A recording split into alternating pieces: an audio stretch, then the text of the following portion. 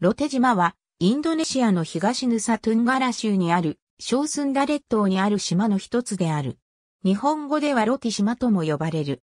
ロテ島の地図ロテ島は、オーストラリア大陸から北西に 500km、アシモアカルティエ諸島から北に 170km の場所に位置している。また、この島は、ティモール島の南西に位置している。北は、サブ海、南は、ティモール海に挟まれている。西には、サブ島とスンバ島がある。南には、インドネシアの島の中で最南端にある14平方キロメートルの面積を持つパマナ島と呼ばれる無人島がある。ダオ島などの近隣の小さい島々と2020年の国勢調査で17万8805人の人口を持つ露天ダオ県のカワプテンを形成している。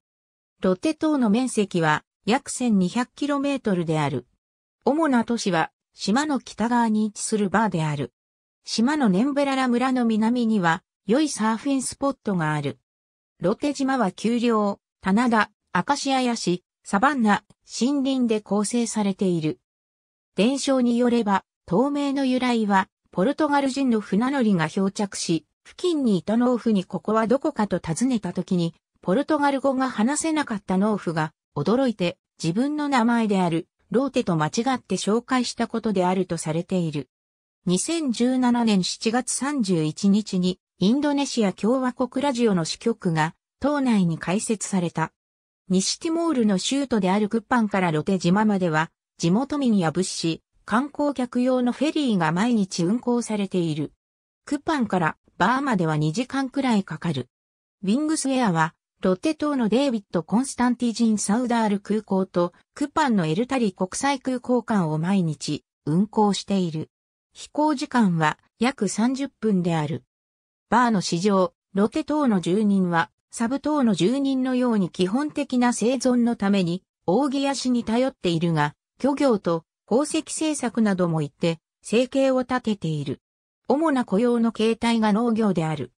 漁業も重要な産業であり、特に地図中にあるロンダーシーの東に位置するパペラ村では、オーストラリアと漁業について争っている。ロテ島には古代の陶磁器や芸術、伝統など多くの歴史的遺跡が残っている。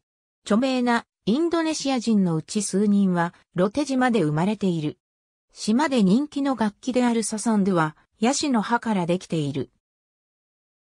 島の東部にあるランド村には無毒のクラゲがいる池があり、白い砂浜もある。また、マコードナガクビガメは、ロテ島の固有種である。